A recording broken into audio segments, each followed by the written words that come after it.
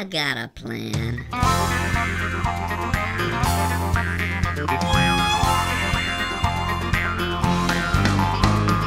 Down, down the hill where the weeping willows grow, where the tree frogs chirp and the sleepy turtles stroll, where the crickets croon, where the sun is setting low.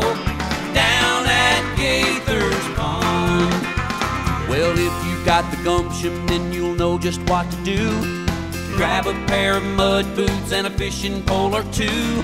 The fishing crawdads come alive when you've a mind to take the time to step into the waters rippling blue.